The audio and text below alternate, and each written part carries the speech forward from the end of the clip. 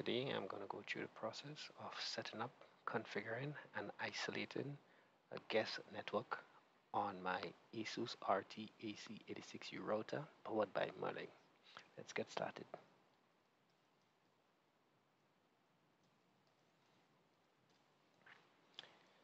Okay, so we're going to set up the guest network. Um, what we're going to do is we're going to be using a feature called Smart Connect, which allows you your device, if it uses a 2.4 gigahertz or 5 gigahertz, it would connect to the appropriate um, SSID seamlessly.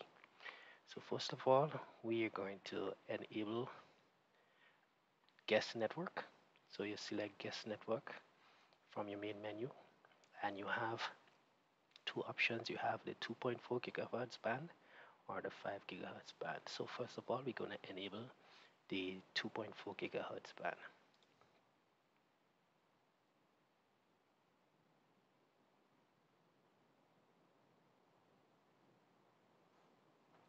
To set up Smart Connect, what we're going to do is we're going to set up both SSID with the same name. That allows easy transition between both SSIDs okay so I'm gonna enable the 5 gigahertz.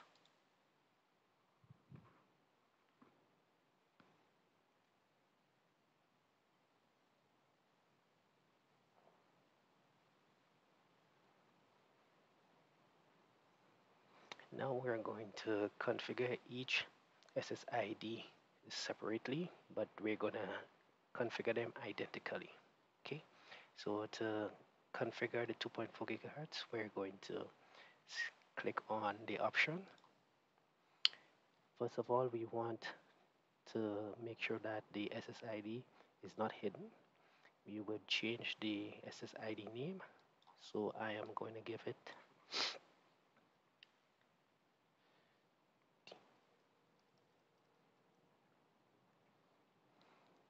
Okay, so we're going to give it DIY tech tip underscore guest authentication method we're going to change it because we want to make sure that it's secure. We're going to change the options we have is open system WPA2 personal and WPA auto personal. The most secure um, authentication method currently is WPA2 the encryption we're going to be using AES which is the only option and just for testing purpose, we're going to make our pre-shared key uh, very simple.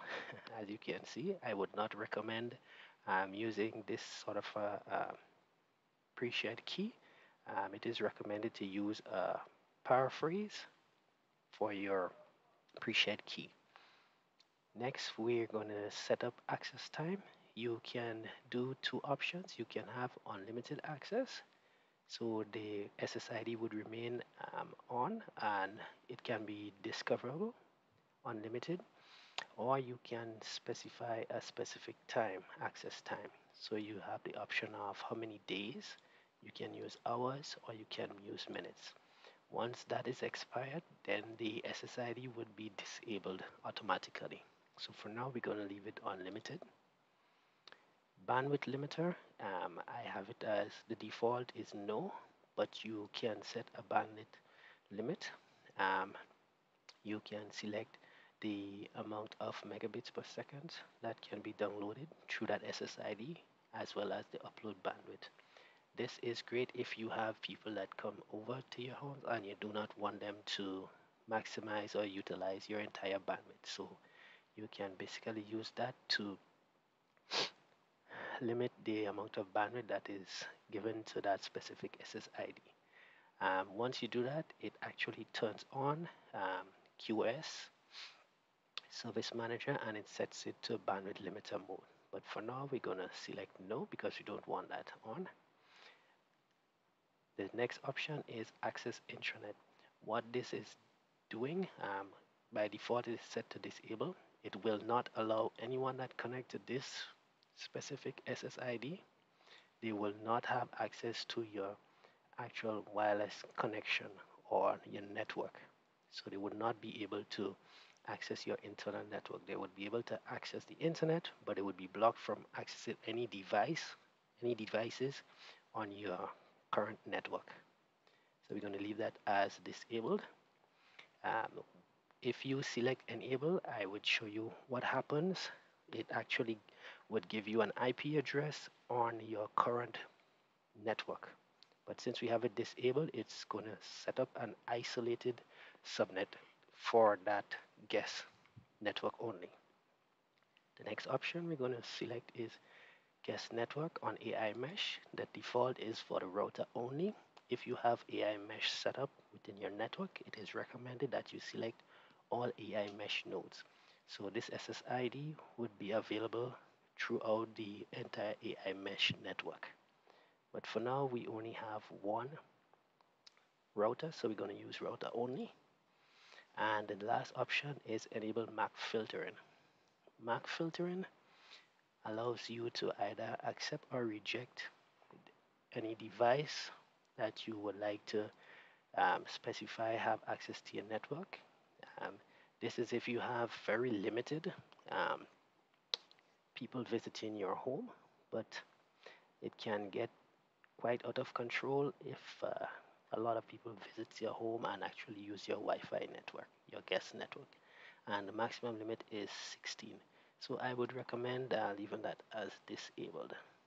By having a very strong pre-shared key, it would allow um, you to control who actually connects to your Wi-Fi. Okay, we're going to select apply.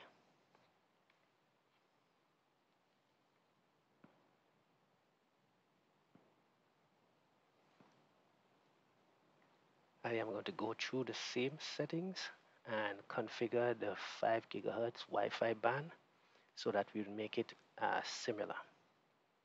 Okay, so we go to the 5 gigahertz and we would select change the name.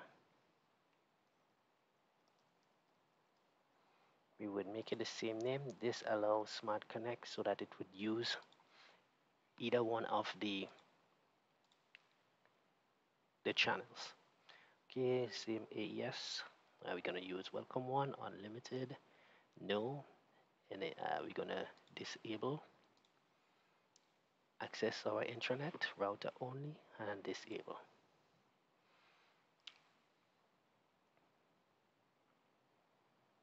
So what I'm going to do now is that I am going to connect another device to that particular SSID and we're going to verify that it actually connects to the guest network. To do that, we would select system log and we would go to wireless log. This would show any device that is currently connected to any of the Wi-Fi connections. So I am just connecting right now. As you can see, I am using a device that automatically connects to our 5 gigahertz. As you can see, the IP address is 192.168.102.22, which is totally different from our current network IP address range, which is 192.168.50.1. So to test that we are we were not able to actually connect to this device or this device do not have access to any devices on the 192.168.50.1 network, I am going to try to ping that particular IP address.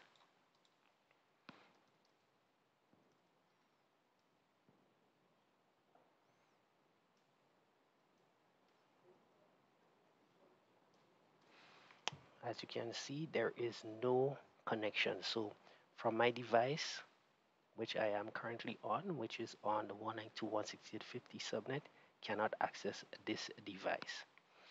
So we're going to test and verify that if we change the connection and we allow it to have access, we're going to validate that you can actually ping the device. So we're going to go back to guest network and we're going to edit both SSID, we're going to say enable intranet and apply. And we're going to do the same to our 5 gigahertz network. The reason why the device connected to the 5 gigahertz network is because the device actually would prefer a faster connection. So with Smart Connect, this is done automatically on the ASUS router. Okay, so I'm just going to enable that option now. And then we're going to try to reconnect to our guest network and I'm going to try to issue a ping to that network to see if we can actually get connected. So I'm going to go all the way back to system log verify that our device get connected. I'm just going to turn it off. And back on again so it's disconnected. And I'm just going to verify that it gets connected. And as you see it gets a different IP address 192.168.50.22 which is the same IP subnet that we're currently connected to. So to validate that this device can access our internal network I am just going to ping that device. As you can see here the previous IP address the device got was 192.168.102.22 so I'm going to ping that device now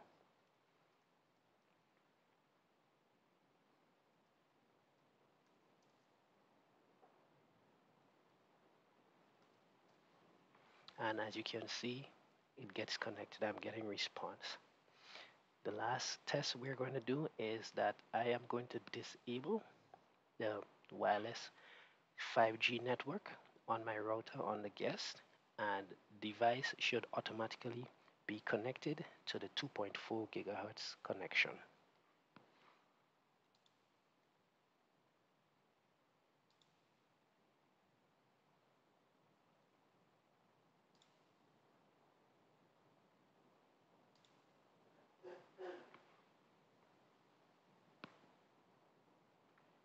So automatically my device would get disconnected and it would get connected to the 2.4 gigahertz connection. And it should still get an IP address of 192.168.50.22. So as you can see, the 2.4 gigahertz connection is up.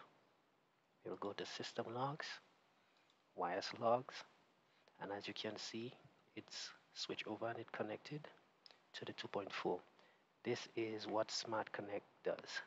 So if you have a 5g 5 gigahertz connection ssid and you go out of range of the 5 gigahertz and once it still sees the 2.4 gigahertz network it would automatically connect to it. So let's try that ping again. And as you can see it gets connected still and that is all for this video and how to set up a guest network and to isolate it from your actual home internal network. Thanks for watching. Please like and subscribe. And I'll see you in another video in our series on how to set up the ASUS RT AC86U router powered by Merlin.